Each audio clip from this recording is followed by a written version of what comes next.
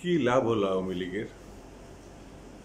গতকালের যে ঘটনাটা দেশে সংগঠিত হলো, আওয়ামী লীগ যদি একটু চিন্তা করে, তাহলে এই প্রশ্নটা তো স্বাভাবিক, তাদের সামনে আসবে।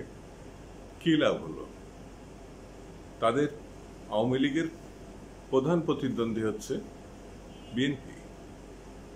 বিএনপি ক্ষমতায় ছিল, এখন আওয়ামী লীগ ক্ষমতায় আছে। বিএনপির সময় ষোলো টাকা সে চাল ছিল। আওয়ামী লীগ বলেছিল দশ টাকা সে চাল খাওয়াবে। মানে আমি পনেরো, ষোলো, সতেরো বছর আগের ঘটনা বলছি।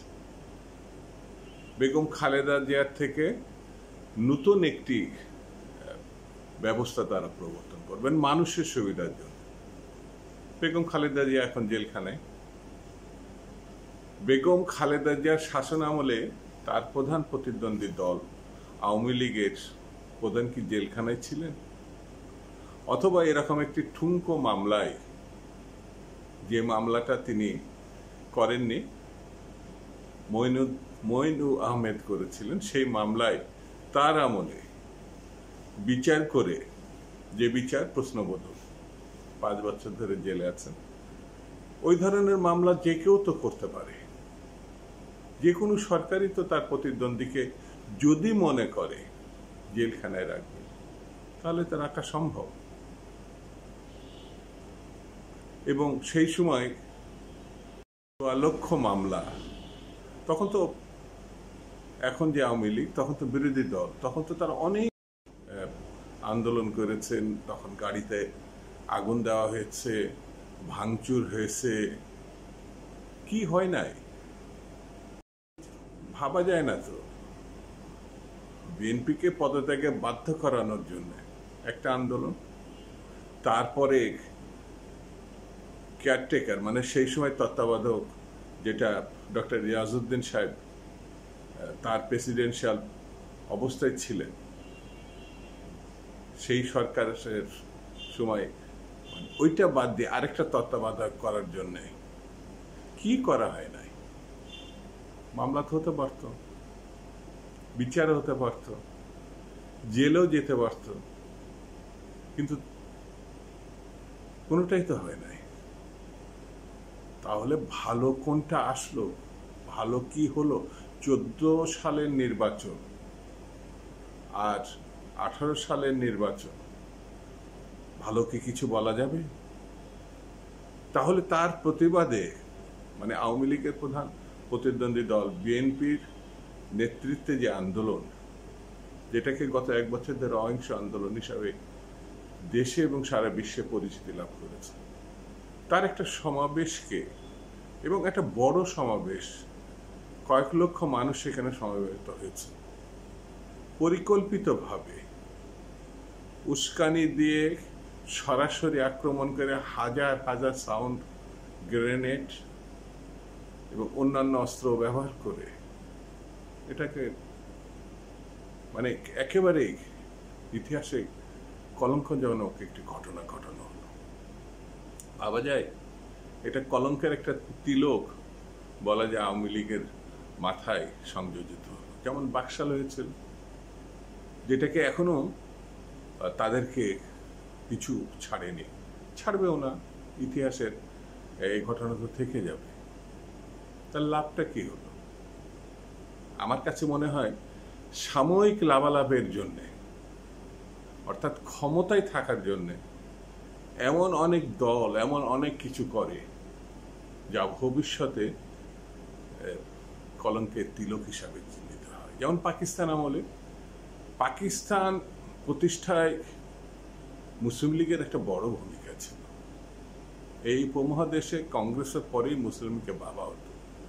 কিন্তু পাকিস্তানের ফর্টি সেভেনের ক্ষমতায় আসার পরে মানে পাকিস্তান জন্মলাভের পরে, সেই পাকিস্তান প্রতিষ্ঠার পেছনে মৌলানা ভাসানির উদ্যোগ ছিল, সরওয়ারদের উদ্যোগ ছিল, শেরে বাংলার উদ্যোগ ছিল। সেই সময় তরুণ তুর্কি সাবেক রাষ্ট্রপতি শেখ মুজিবুর রহমানের ভূমিকা ছিল। হ্যাঁ সেই মুসলিম যখন ক্ষমতাকে কুক্ষিগত করেছে তখন তো এরা মুসলিম লীগ থেকে বেরিয়ে গিয়ে প্রথম মৌলানা ভাসানির নেতৃত্বে আওয়ামী মুসলিম লীগ গঠন করেছে। পরে যেটা মুসলিম আওয়ামী লীগ।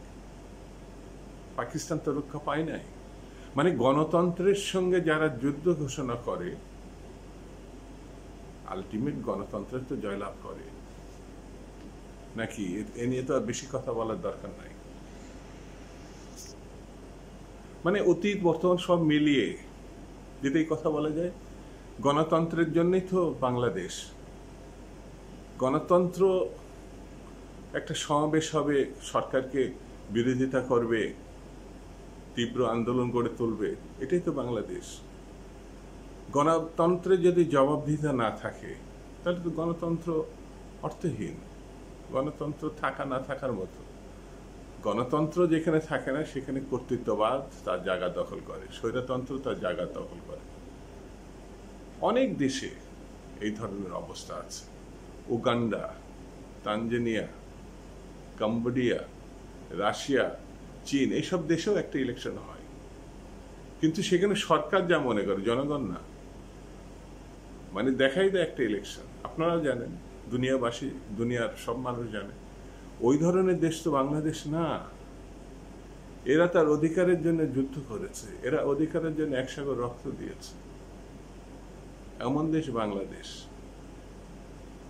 গতকালের যে ঘটনা, তাতে প্রমাণ হয়েছে যে চোদ্দ এবং আঠারো সালের নির্বাচন মানুষের সংকট কাটাতে পারেনি, দেশের সংকট কাটাতে পারেনি। গণতন্ত্রের সংকট থেকেই গেছে। যদি চোদ্দ এবং আঠারোর নির্বাচন গ্রহণযোগ্য হতো। তাহলে এরকম লক্ষ লক্ষ মানুষ বিরোধী দলের সমাবেশে তো আসতো না।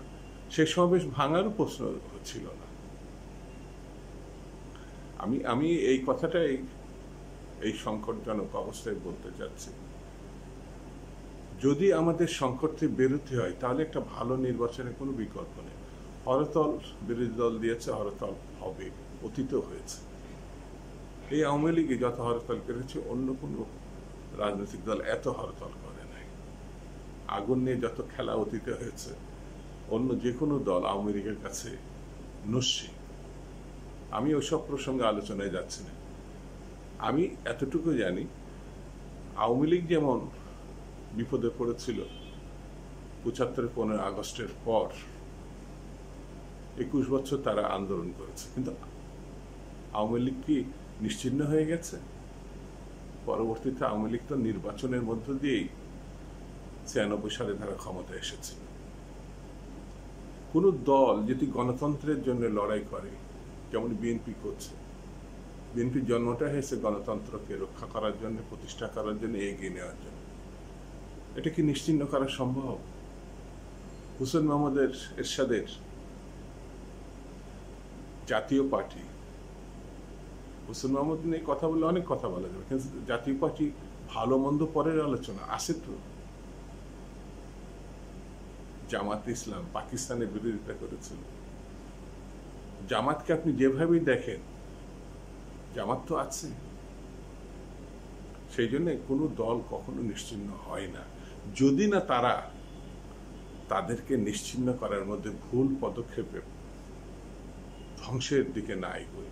সেই জন্যই বলব, গণতন্ত্রের বিপক্ষে অবস্থান না নেওয়াই ভালো।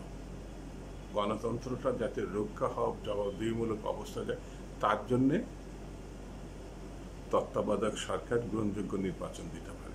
ওটি এখন খুব জরুরি।